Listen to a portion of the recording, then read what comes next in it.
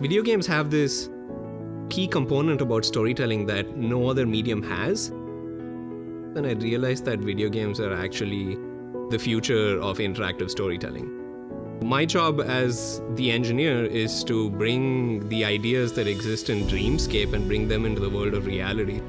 People work in games not because it's something easy, it's because it's something hard. It's because you can do the best work of your life, the best work of your career in games.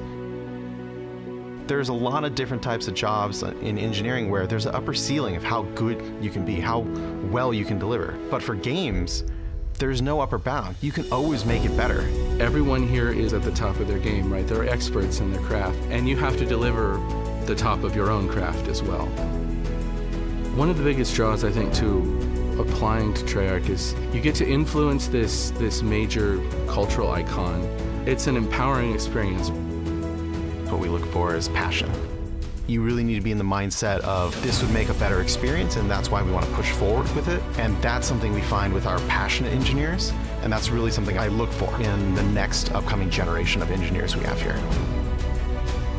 So you want to come to Treyarch because you're going to do the most fulfilling work of your career and you're going to create something that's going to be passionately enjoyed by millions of people all around the world.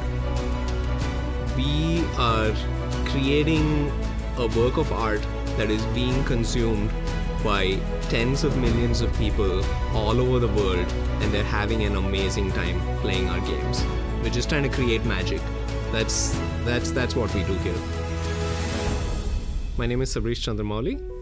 I'm a senior software engineer and I've been working with Treyarch for about five years. I'm JT Hooker. Uh, I'm a graphics lead engineer. I've worked at Treyarch for about five and a half years. My name is David Young. I'm an expert engineer here at Treyarch. I've been with the company for a little over seven years now.